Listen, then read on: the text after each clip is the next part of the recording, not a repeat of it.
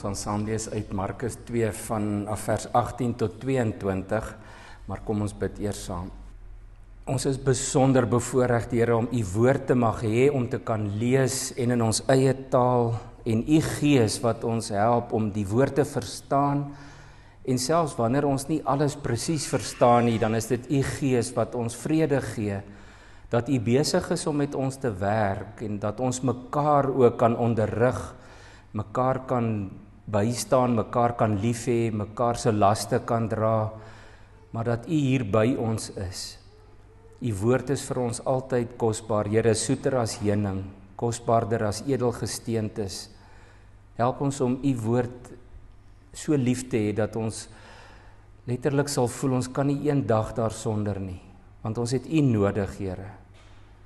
En lei ons ook nou dat elkeen van ons sal hoor wat wat is dit wat u spesifiek wil hê ons vandag moet hoor en moet doen? Ons bid dit in Jesus se naam. Amen. Ons is nog besig met ons reeks uit Markus 2. Dit gaan nog lank aanhou, maar ek is so opgewonde elke keer as ek daaraan werk dan dan ontdek ek nog beter en nuwer insigte en ek hoop julle ook. Ek hoop dit is vir julle net so kosbaar. En wanneer laas was jy by 'n lekker troue, by 'n soos ons altyd gesê het 'n bruilof? 'n Lekker troue is darem 'n 'n wonderlike geleentheid. Ek het die voorreg om so af en toe 'n troue te mag bywoon. Kan ook nie altyd al die onthale bywoon nie, maar ek was onlangs by 'n baie lekker troue want wat vir my 'n troue spesiaal, maar alle troues is spesiaal. Ag julle weet mos. Ek sien die meeste van julle is getroud Ehm uh, die bruid en die bruidegom was nog nooit so gelukkig nie. Maar almal is dankbaar, almal is opgewonde, almal is bly. Ja, wel, ek kyk baie keer so bietjie rond, maar ek het nog nooit iemand gesien by 'n bruilof wat dikbek is nie. Nee, 'n bruilof is hierdie lekker plek waar almal bly en vrolik en opgewonde is. Nou gaan ons bietjie lees wat gebeur in hierdie gedeelte en hoe dit aansluit daarbey want Jesus het iets te sê daaroor. In vers 18, ek lees uit die 2020 vertaling, staan daar Johannes se disippels en die fariseërs was besig om te vas. Hulle kom sê toe vir hom: "Waarom vas die disippels van Johannes en die disippels van die fariseërs, maar u disippels vas nie?" En Jesus antwoord hulle: "Die bruilofsgaste kan tog nie vas terwyl die bruidegom by hulle is nie?" Solank hulle die bruidegom by hulle het, kan hulle nie vas nie. Daar sal 'n tyd kom wanneer die bruidegom van hulle weggeneem word, dan sal hulle vas op daardie dag. Niemand werk 'n ongekrimpte stuk lap in 'n ou kledingstuk vas nie, anders keer die nuwe stuk van die oue af en word die skeur net groter. En niemand gooi nuwe wyn in ou leersakke nie Anders sal die wyn die leersakke laat oopbars en sowel die wyn as die leersakke sal tot niet gaan. Nee, nuwe wyn in nuwe leersakke. Tot sover. Dit is letterlik wat daar in die laaste sinnetjie staan en ek gaan die hele gedeelte gebruik, maar in die direkte vertaling sê Jesus net daar aan die einde nuwe wyn in nuwe leersakke. Dit klink soos 'n soos 'n besigheid se se motto, se lese nê, nuwe wyn in nuwe leersakke. Nou as julle nou na die prentjie kyk, die foto sal julle vir my sê nee, definitief het dit nie so gelyk in Jesus se tyd nie. Hier is baie moderne wynsakke of watersakke. Maar ek het die foto gekies want dit, dit sê vir my soveel meer want naaste by so kon die ou leersakke dalk gelyk het. Ehm um, baie meer soos leersakke waar mens wyn kon instoor of ingooi, maar hierdie moderne leersakke is veel kleurig en en modern en ons kan meer daarmee makliker daarmee identifiseer dink ek. Dit gaan oor wat Jesus vir ons vandag hierso wil vertel. En ek het net twee punte vandag wat uh, vir ek hierdie gedeelte saam met julle mee wil deurgaan. Die eerste een is tog baie duidelik bruilofsgaste vas nie. En daardie woord wat hier gebruik word vir bruilofsgaste is eintlik 'n woord wat letterlik gebruik was vir 'n idioom wat gesê die vriende van die bruidegom.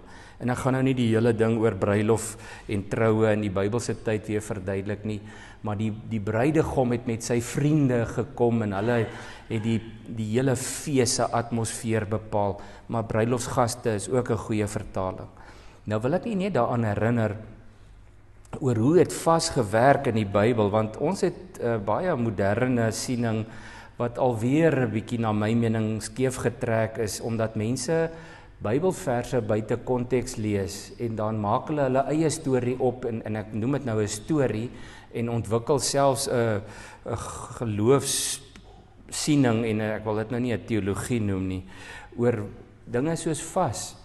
In die Ou Testament het Moses deur die Here 'n reëling bepaal dat daar net een dag per jaar gevas is deur die ou volk van God, die Israeliete, het net op die groot versoendag een dag van die jaar gevas en dit staan baie uitdruklik in Levitikus, dit was die 10de dag van die 7de maand en dan moes die hele volk vas.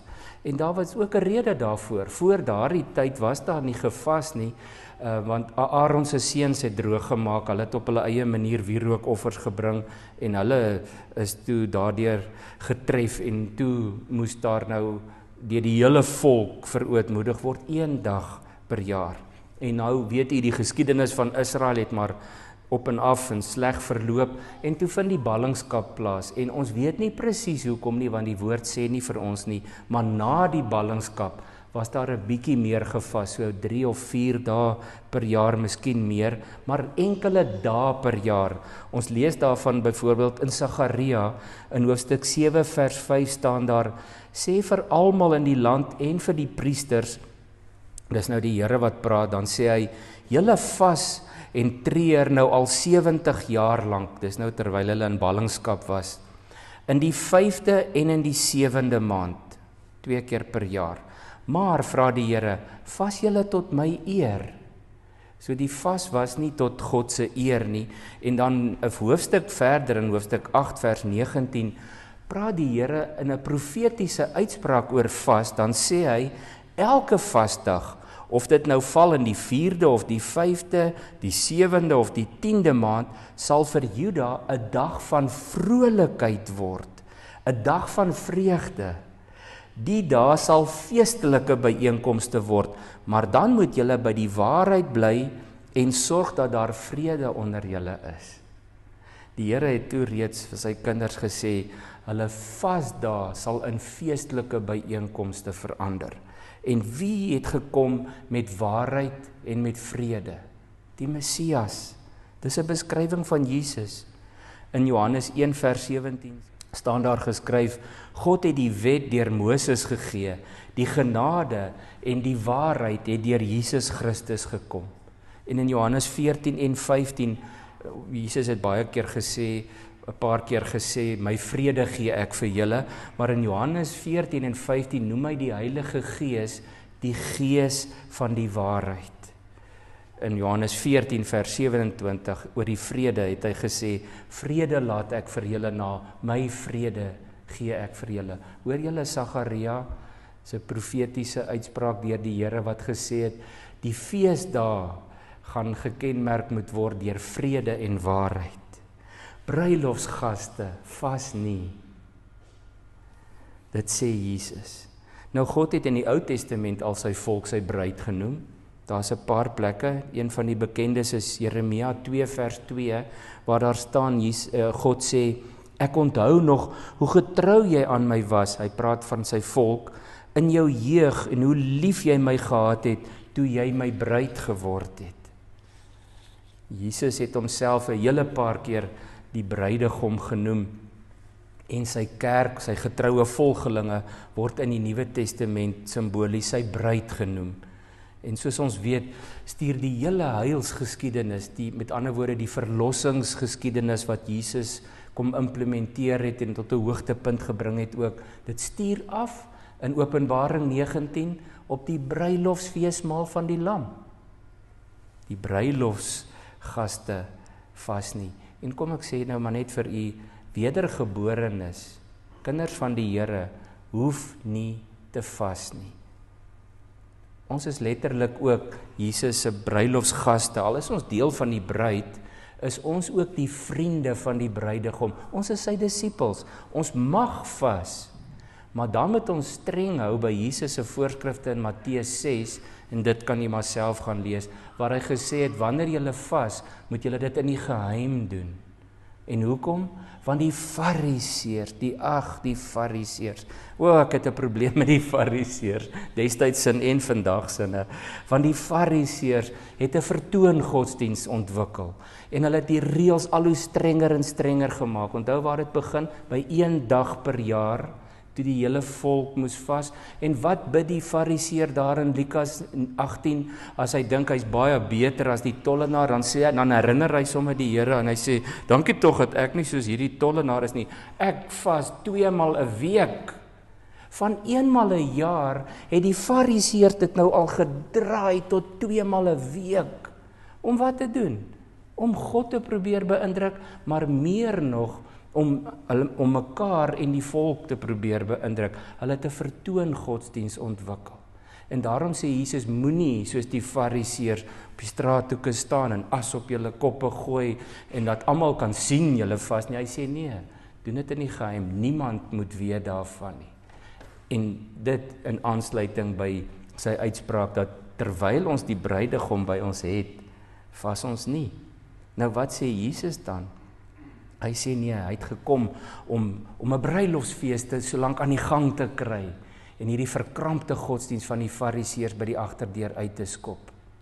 Hy sê daar sal 'n dag kom wanneer my disippels nie vas nie. Wanneer die bruidegom van hulle weggeneem word. En daar staan spesifiek in vers 20 op daardie dag sal hulle vas. Maar Jesus is mos nie permanent weggeneem nie. Hy was vir 3 dae in die graf. En toe hy teruggegee. Hy's nie permanent weggeneem nie en daarom kon hy op sy opstandingsdag alweer sy disippels se harte warm maak daarin in Emmaus. Toe die twee disippels sê, "Hoe warm het ons harte nie geword saam met Jesus nie." Die bruilofsgaste van die Here Jesus vas nie. En as hulle dit doen, dan vertel hulle vir niemand daarvan nie, want dit is nie waarvoor die fariseërs dit gedoen het en waarvoor sommige met alle respek gesê sommige Christene dit vandag gebruik nie. Jesus het gesê hy het gekom om nuut te maak, nuut vir 'n rede. Hy verduidelik dit met twee baie praktiese voorbeelde wat almal destyds kon verstaan en wat ons vandag ook nog kon verstaan. Jesus het 'n nuwe bedeling gebring wat nie pas by die ou bedeling nie en Paulus verduidelik dit omtrent in al sy briewe. Ons gaan nou nie te veel na Paulus toe nie, ons is in Markus besig. Maar as ek net kan herinner dat Paulus op 'n hele paar plekke gesê het Jesus Christus het gekom om ons splinternuut te maak. En julle het my dit alhoor sê, die Heilige Gees het nie gekom om ons soos ou karre te kom paneel klop en net ons duike uit te kry en ons weer mooi 'n nuwe laagie te verf nie. Dit is nie wat wedergeboorte is nie. Jesus sê vir Nikodemus in Johannes 3, jy moet opnuut gebore word, 'n weergebore. Nie nie 'n groei draai skaaf, kom ons poleer jou net 'n bietjie, vryf jou weer 'n bietjie blink nie. Nee, en daarom gebruik die die boodskap vertaling op baie plekke die woord splinternuut. Want dis 'n woord wat ons ken, nê, splinternuut. In die in die oorspronklike en direkte vertalings is Paulus baie lief om te praat van skep. Hy sê God het deur Jesus ons nuut kom skep. Nou hoe het God geskep? Uit niks. Hy het, hy het nie ou goed gevat en dit verander nie. Hy het nuwe goed gemaak. In 2 Korintiërs 5 vers 17 staan daar: Iemand wat aan Christus behoort, is 'n nuwe mens. Die ou is verby. Daar staan in die direkte vertaling Daarom as iemand in Christus is, is hy of sy 'n nuwe skepping. Daar's daai woord van skep, nê? Die ou dinge het verbygegaan. Kyk, julle het nuut geword. Julle het splinter nuut geword. Paulus verwys ook na skep, byvoorbeeld in Efesiërs 2 vers 10 waar daar staan: Ons is immer sy maaksels, geskep in Christus Jesus om goeie werke wat God voorberei het te doen en daarvolgens te leef. Kinders van die Here is letterlik oorgeskep deur die Heilige Gees se werk in ons. In Markus 2 hier gebruik Jesus hierdie twee beelde van jy jy vat nie 'n nuwe ongekrimpte lap om klere mee reg te maak nie want dit gaan net die skeur groter maak en dan die voorbeeld wat ek baie van hou waar hy net sê jy gooi nie nuwe wyn in ou leersakke nie. Jy kan Jesus sê hy kan nie kom en sy nuwe bedeling kom meng met die ou bedeling nie. Hy kan nie die fariseërs se godsdiens eers vat en dit probeer timmer en poleer om dit beter te kry nie. Dit is so skeef getrek. Hy sê ek gooi dit uit en ek bring 'n nuwe bedeling. En dit is wat die woord van die Here vir ons sê.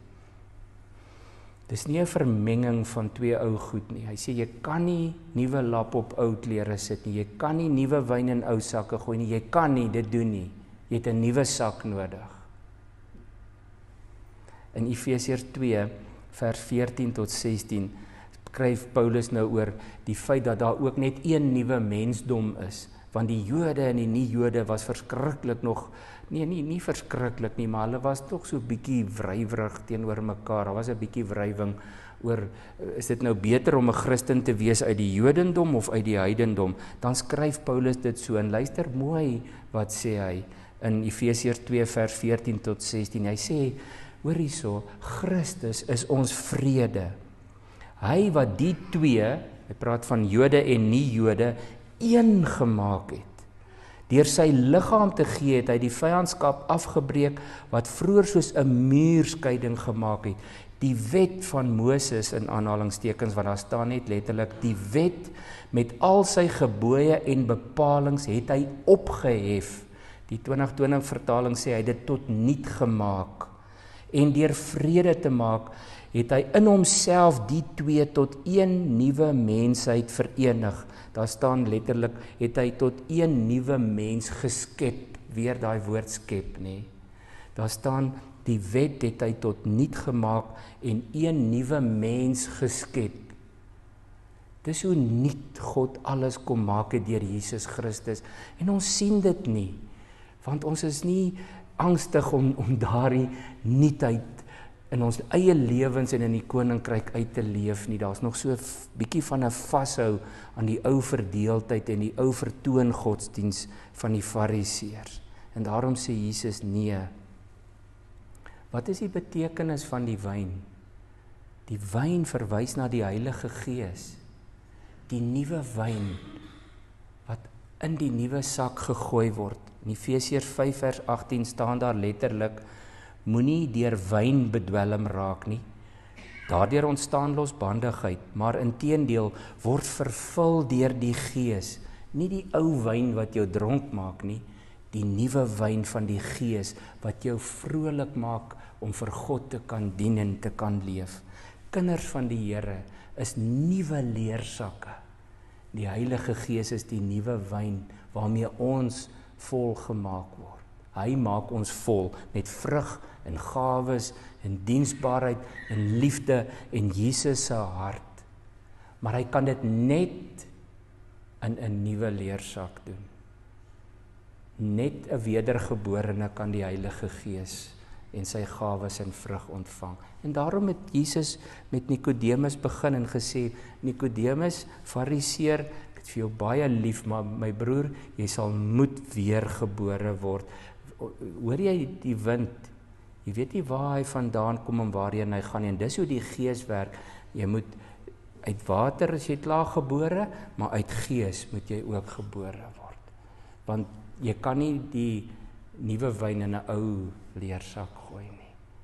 Hy sal net skeur en bars en hy sê en dan's albei verlore. Kom ons leef kinders van die Here met die nuwe wyn in hierdie nuwe sak wat Jesus splinternuut kom maak het toe jy wedergebore is. Bruilofsgaste vas nie want hulle is soos nuwe leersakke met nuwe wyn vol van die gees en van die waarheid en die vrede en die vrug. Ons moet dit net doen. Ons moet nie wag dat iemand anders dit doen of dat iemand anders ons kom wys hoe om dit te doen. Kom ons bid saam. Here ons dank U en ons loof U dat al voel dit en lyk dit nie altyd vir ons so nie die woord sê ons is deur U wederbaar nuut gemaak opnuut gebore deur U gees en U het ons splinter nuut gemaak en dit is nie ons werk nie. Ons is nie goed genoeg daarvoor nie maar U het dit gedoen en U het die werk klaar en goed gedoen. Gee ons elkeen net die krag en die integriteit om ons heeltemal oor te gee aan U en op te hou om vas te hou aan die ou mens en die ou lewe en ou idees en die ou bedeling dat ons geen greintjie van die fariseërs se vertoon godsdiens in ons sal oor hê nie maar nuut gemaak 'n nuwe leersak sal wees met nuwe wyn Ons wil dit by U leer, Here Jesus.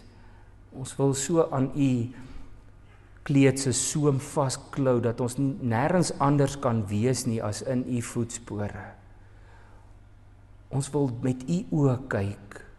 Ons wil met U hande vat. Ons wil met U hart lief hê.